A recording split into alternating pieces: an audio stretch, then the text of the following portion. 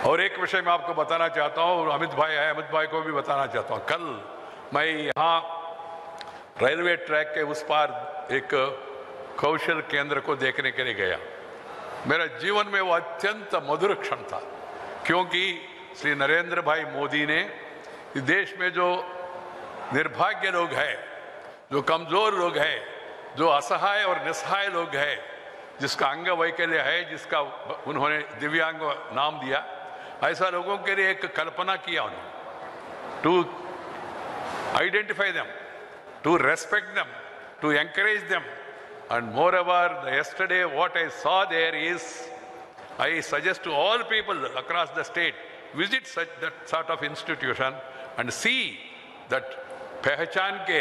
ये अंग वैकल्य है, उनका, उनमें क्या कौशल्य है, उनका क्या अभिरुचि है। वो अभिरुचि को समझ के उस अभिरुचि में उनको प्रोत्साहन देना ये कोई मामूली विषय नहीं है।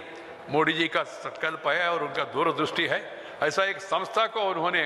देश में निर्माण करने के लिए सामाजिक न्याय मंत्रालय को बताया तो सामाजिक मंत्री से मैंने अनुरोध किया, वो भाई ऐसा पहले मेरा गाँव में, नेल्लूर में और मेरा चोटपाड़म पंचायत में उसका निर्माण करो। निर्माण हुआ और उसका भूमि पूजा मैंने किया, उसका इनाग्रेशन मैंने किया उसका फिर कल जाके वहाँ जो अद्भुत काम हो रहे सेवा कार्यक्रम उसको देख के मैं सच में तन्मय हो गया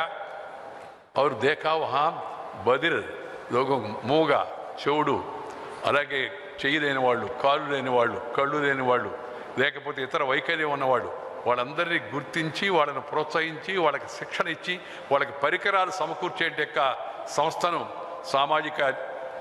మంత్రిత్వ శాఖ ఏర్పాటు చేసింది. అది చక్కగా నడుస్తూ ఉంది. I can also tell out of all the government buildings I have seen in India the best building is made here in this Chautapalem village in Venkatachala mandal here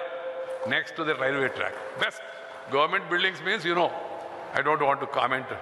on government government is government of course but the best building best maintain you feel as if you are entering a so called five star that sort of i really appreciate the officers of that ministry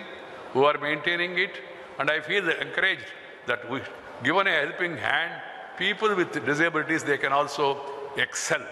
ఒకరో ప్రోత్సాహం ఇస్తే ఎవరైనా కూడా ముందుకు వెళ్తారనే దానికి ఒక ఉదాహరణ అది మోడీ గారు చాలా దూరదృష్టితో అనేక కార్య